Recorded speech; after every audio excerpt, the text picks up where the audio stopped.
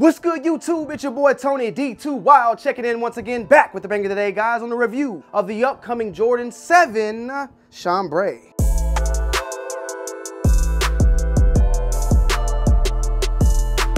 Set to release on July 15th for a retail price point of $200. Now, if you guys are recent sneakerheads out there, the Jordan 7 Chambray, this is the second time that this shoe has released. Originally releasing back in 2006, it was a big time for Jordan 7s just out there. You had the Citrus 7s, you had these, and uh, can't think of anything else, but Jordan 7s were popping, okay? Jordan 7s have been popping. It isn't until recently that people can look at a Jordan 7 and say, hmm, I'll pass. The sevens at one time were just up there. Three, sevens, and 11s, they were hitting, bro. They were hitting. I mean, fours and threes have always hit, don't get me wrong. But the sevens at one point was almost like a favorite for a lot of people out there, at least for me. But we see though the Chambray is coming back in full effect. And for the most part, I gotta give props to Jordan Brand for recreating a classic and giving it a classic look and great quality. I mean, the suede that's featured on this shoe, in my opinion, is very, very, very top notch in quality, at least of how it feels and how it looks. I mean, you can actually see the suede here from the different shades that it is with the bouncing off and this, the furry effect going on. A good representation if you guys have the Travis Scotts, the black suede feature on the Travis Scotts also features very, very similar quality on this Jordan 7. And for it being just the GR, you know, it's, it's, it's, I'm, I'm enjoying it. I'm loving it. I'm liking it. I'm happy for it. So if you like this shoe, you'll love it in hand. The Jordan 7 Chambray also is being produced out of Vietnam. Now, that is a little bit different than what we typically see for shoes from Jordan brand that are all, you know, that are majority of the time being made out of China.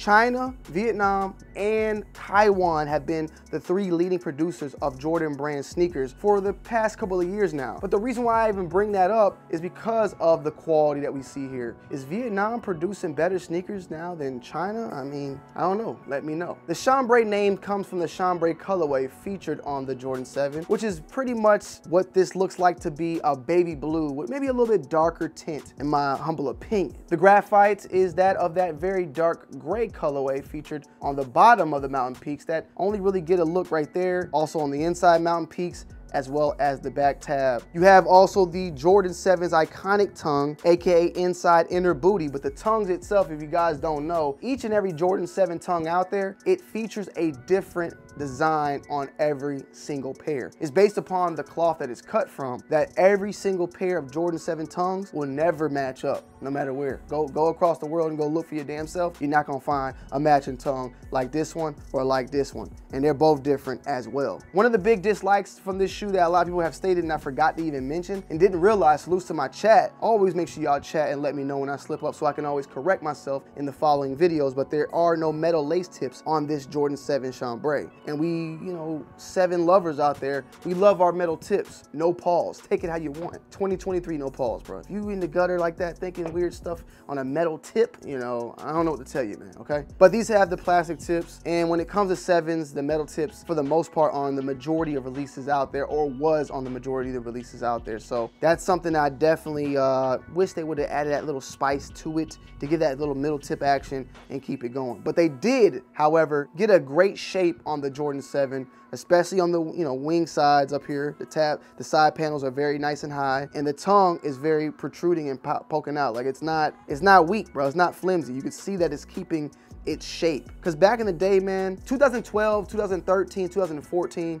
it was a very bad time for Jordans in my opinion, even 15. When they remastered the French Blue 7s, the paint job was like sloppy toppy. And you can keep your mind in the gutter with that. It was just sloppers, slopper boppers, okay? All on the mountain peaks. Paint job was horrible, horrific. They've definitely cleaned it up since then, so salutes to Jordan Brand for that. And the top part, I think that, like I said, the height of the ankle is very good in my opinion. The tongue sticking up a little bit, very good in my opinion. Beforehand, I felt like the tongue was shorter than this part. The shape was just all off, but I feel like they've done a great job at getting the shape right when it comes to Jordan 7s recently, and that's just in Tony D's, you know, humble opinion. The Jordan 7s, like I stated before, in Vietnam, the UNC is made in China. So that's something else to take into consideration. But this whole month of July has been UNC. the chambray, even though it's called chambray, bro, it's definitely like a UNC blue. You got the UNC toe, you got the UNC to Chicago. Ton of UNC colorways dropping in this particular month. It's a little wild. Salute to my chat though, once again as well, the comment section. This is the box that is featured on this shoe. And you guys let me know that this was the 92 OG box for sevens. Now, I knew this to be the case when it came to the fives and sixes. I did not know that to be the case when it came to the sevens. And forgive me, in 1992, I was only one years old, okay? Forgive me, forgive me. But the box itself, as you can see, typical box that we've seen with the fives and sixes over the years. That's the actual label, eight and a half with a 10, chambray, light graphite. You got also Nike Air there as well. Open the box up, you know, paper. That's what you typically see, right? Paper.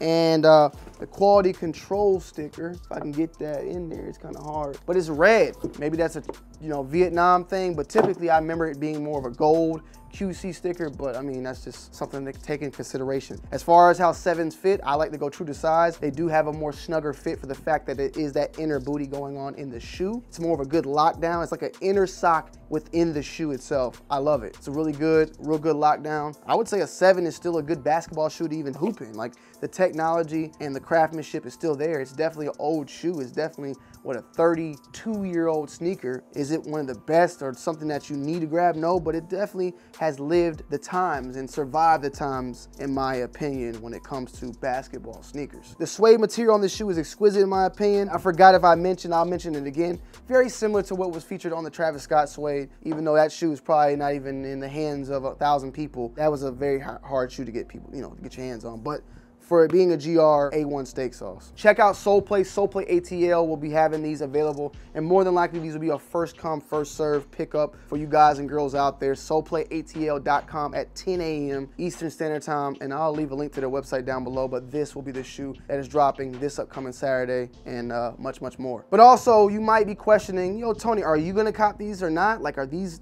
the shoes that you're gonna end up picking up. And honestly, I would love to cop this shoe. I like this shoe. And I'm not trying to sound like a broke boy right now, but I've told you guys how I've been this whole entire year with the decisions I have to make. Not even because I'm having a kid, but just because I have so many shoes already. And this shoe is $200. The Foamposite metallic reds are $200. The UNC toes are $180. I mean, that's like $600 right there just for the month of July in sneakers. And, bro, I'm a, you can't see it, bro, but look, look, look at this.